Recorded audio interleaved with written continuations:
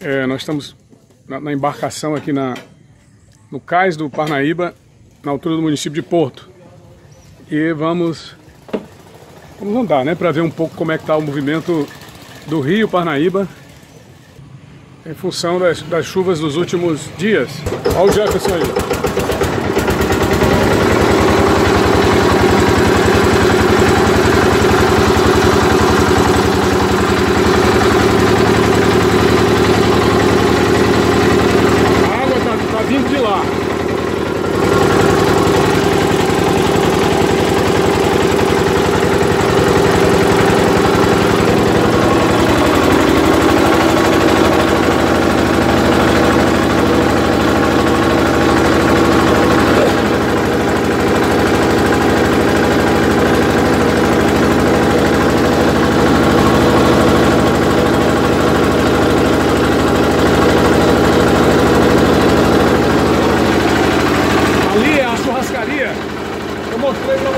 poucos instantes. Churrascaria Beira Rio. Aquelas são as casas que ficaram embaixo d'água.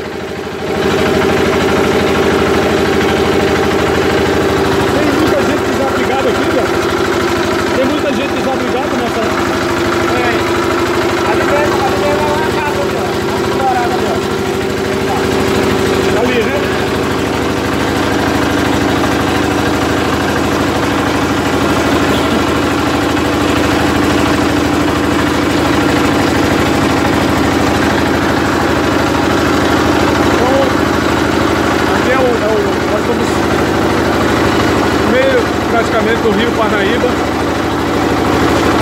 Muita água no rio Parnaíba. E sol agora, como faz tempo, né? Tá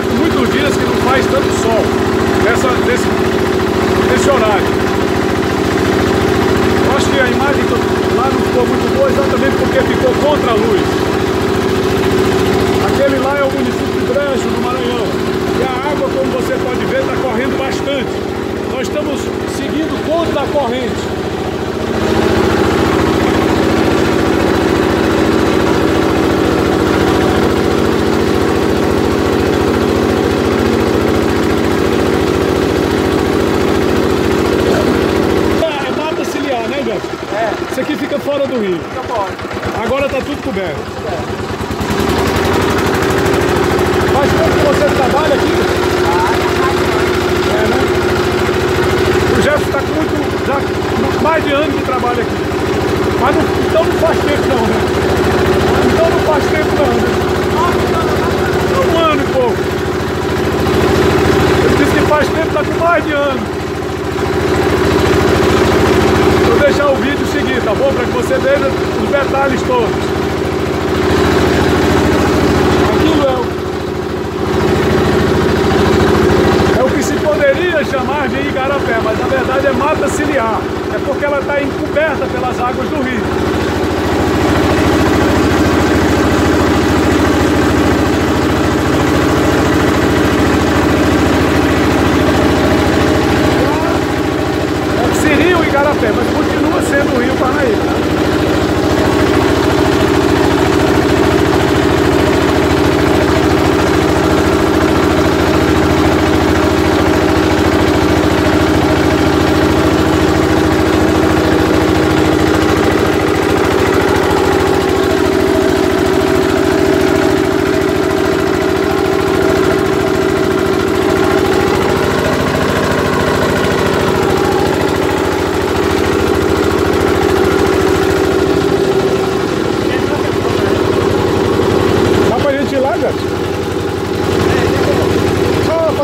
assim.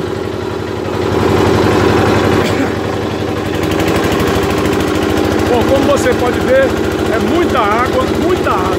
Então, eu queria também, e não poderia deixar de ser, de expressar aqui o meu sentimento de responsabilidade e de respeito ao pessoal dos municípios, principalmente aqueles que nesse momento estão engajados no apoio as vítimas dessa tragédia, esses que se engajam na distribuição de cestas, é, na arrecadação de donativos, principalmente as pessoas comuns, a população solidária às vítimas dessa tragédia. Então, vindo aqui para contar de perto a, a história dessa cheia, para depois poder dizer do que vimos e do que sentimos. Porque está aqui,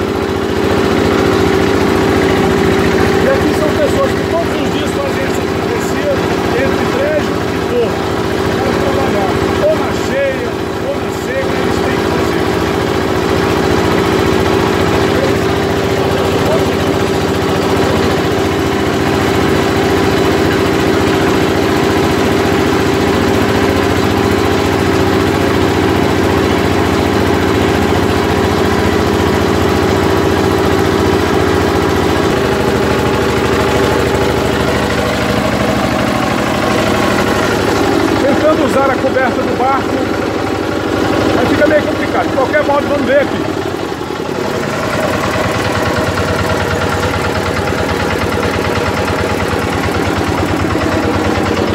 Estamos chegando ao mesmo tempo.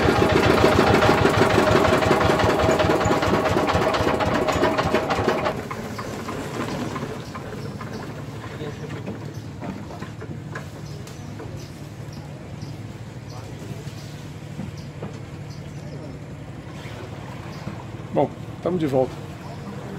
Foi rápido, né, gente? Não deu nem tempo para a pessoa gostar. é isso aí, pessoal. Um grande abraço, muito obrigado. Não esquece de deixar o seu gostei, se inscrever no canal, ativar as notificações. Tony Rodrigues, Além da Notícia.